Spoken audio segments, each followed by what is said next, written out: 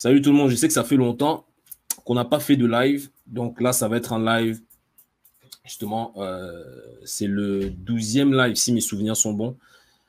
Le 12e live sur les stratégies d'investissement euh, anti-crise. Donc euh, voilà. Donc, quelles sont les stratégies d'investissement? Quels sont vos blocages en immobilier?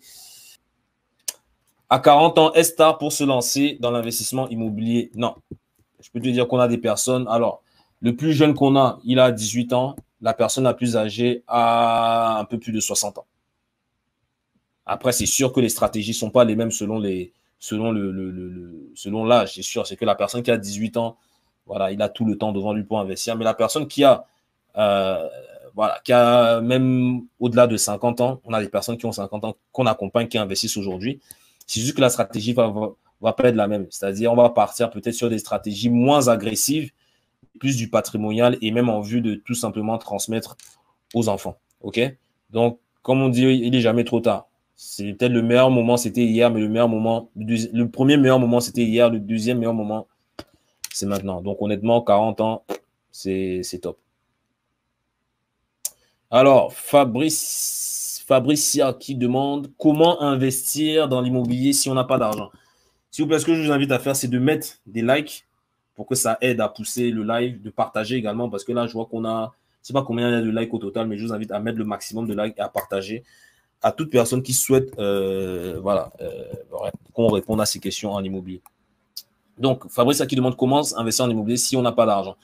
Alors, ça, c'est une croyance limitante qui n'a plus lieu d'être, selon moi, dans le sens où, euh, comment dire, dans le sens où euh, bah, l'argent, tu peux le trouver en fait. Si tu n'as pas l'argent présentement, bah, demande-toi comment en trouver. Après, il y a des façons plus ou moins créatives. C'est sûr que l'idéal, c'est d'avoir un emploi avec des revenus récurrents. Mais si tu n'as pas d'épargne qui te permette d'injecter ou d'investir en immobilier directement, tout ce que tu peux faire, c'est de peut-être voir, enfin moi, c'est ma spécialité, c'est le financement créatif. Donc, voir comment est-ce que tu vas constituer ton apport, ta mise de fonds, ton cash down pour pouvoir investir en immobilier.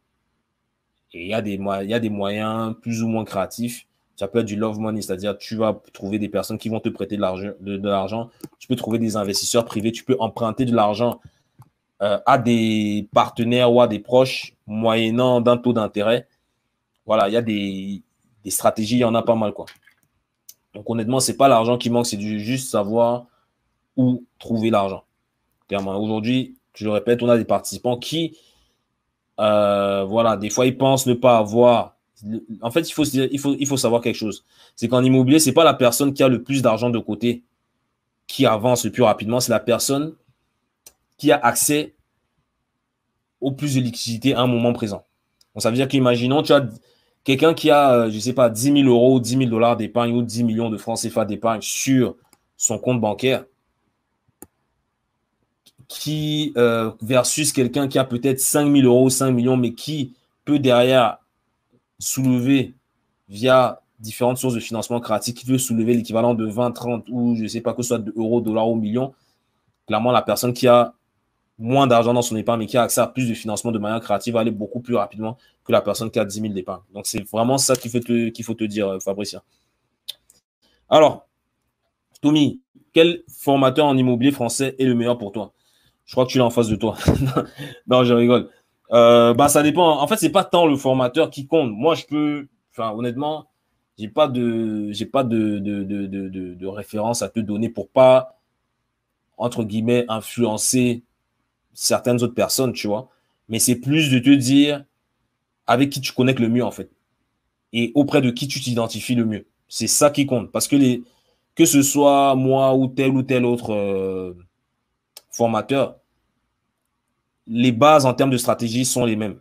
Après, chacun sa particularité. Par exemple, moi, ma particularité, c'est le fait que je sais comment investir avec du financement créatif.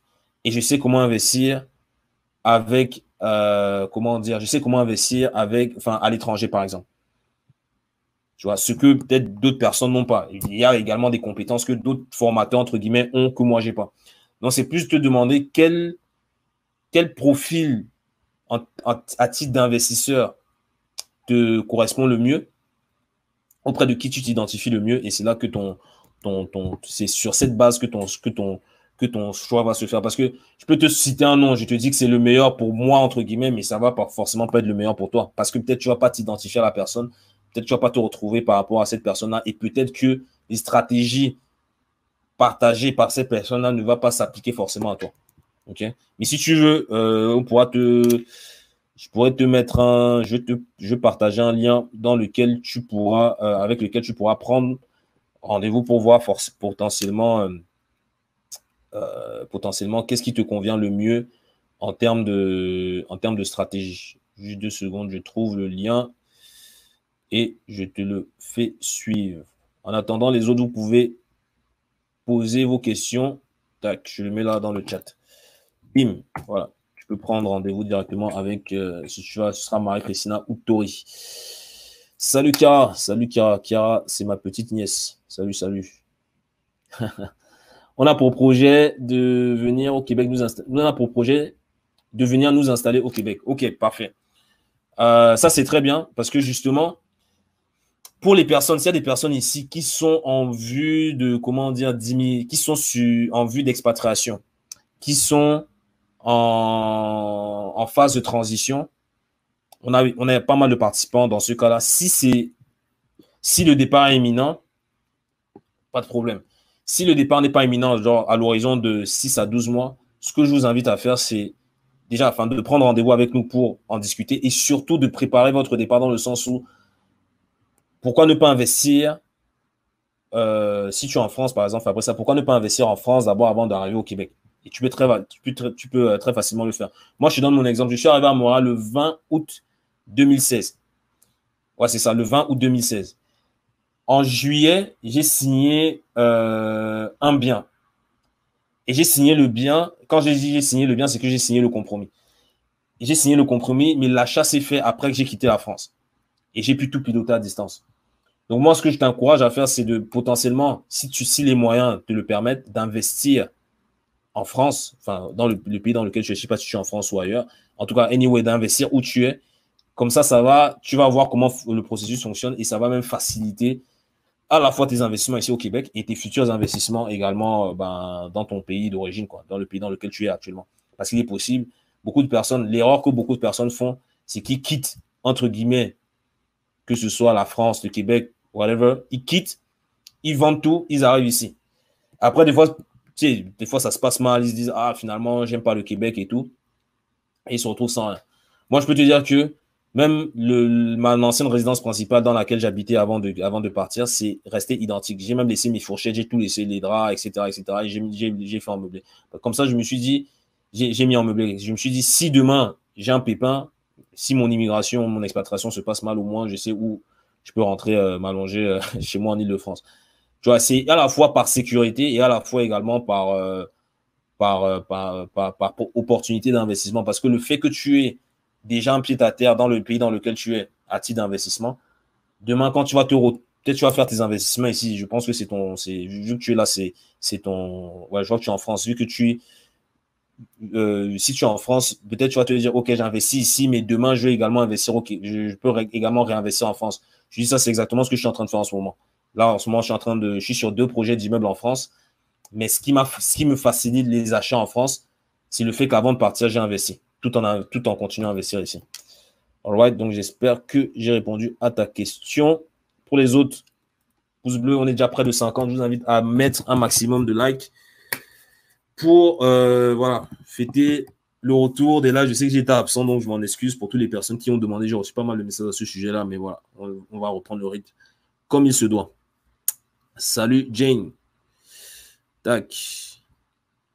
Alors, euh, comment faire pour avoir contact avec, moi? Donc, je t'ai mis un lien que je vais remettre. Là, tu pourras prendre rendez-vous avec notre équipe et après même, enfin, dépendamment de ton profil, on va voir, euh, on pourra prendre rendez-vous ensemble par la suite pour, discuter de tout ça. Donc, Caroline Gabriel qui est à l'île de la Réunion. Nice.